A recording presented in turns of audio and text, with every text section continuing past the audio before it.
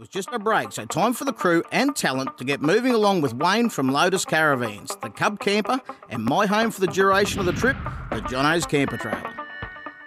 So we continued travelling south, and my expectations were washed away as the landscape changed before my eyes. There's greenery, there's red dirt, there's scrub, and then there's pockets of beautiful floral sort of outcrops. It's, it's a safe drive, it's an easy drive, and it's actually really good viewing. We eventually made it to Katherine, and it struck me for the first time what a destination this place really is. I've been to Katherine several times in the past, and for whatever reason, never spent a lot of time there.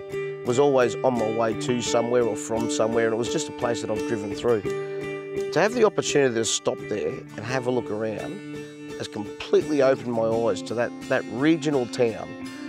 Katherine is rich in history and culture, where you can immerse yourself at the Godinymayin Yijard Rivers and Arts Culture Centre. Visit the O'Keefe House, which is one of the very few structures that survived the World War II era. At the Katherine Museum, you'll find some amazing aeronautical exhibits, and of course, the Visitors Information Centre is a great resource to help plan your stay.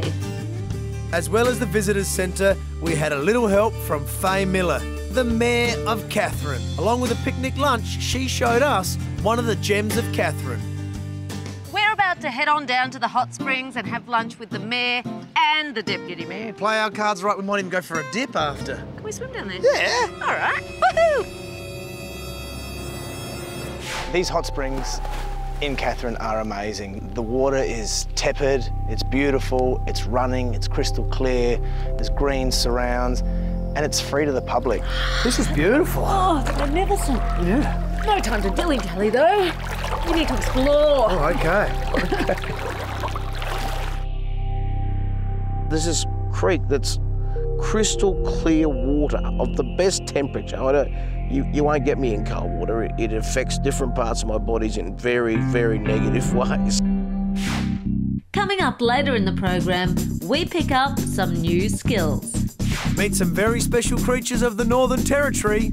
And go bush, but you will just have to keep watching to find out where.